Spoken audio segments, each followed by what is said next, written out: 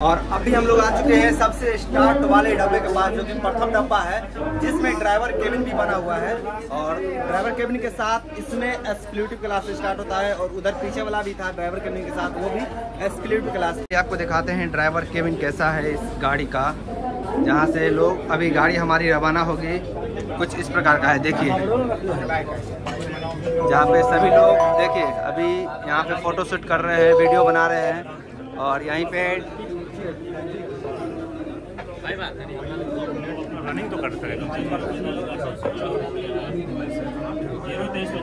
यहाँ पे गेट है। चलिए आपको थोड़ा सा दिखा देते हैं बाहर का सीन और यहाँ पे देखिए, यहीं से हमारे माननीय नरेंद्र मोदी जी इस गाड़ी को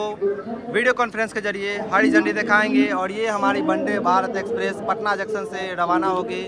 लखनऊ के लिए। माननीय प्रधानमंत्री जी